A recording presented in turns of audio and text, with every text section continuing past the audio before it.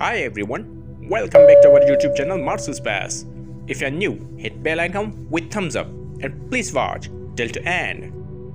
NASA's Mars Curiosity rover captured this raw image on Mars surface on 21st October 2040.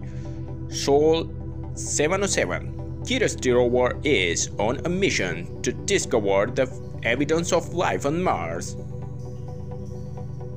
Here is spotted a mysterious structure. What is it? It looks like a fossilized dragon's skull between the rocks. What do you think about it? Let me know. Watch new pictures from Mars Perseverance rover capture on Sol 333.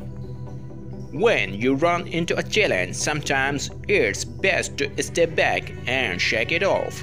Perseverance reversed up onto some nearby rocks to get tilted and did a twist with one foot.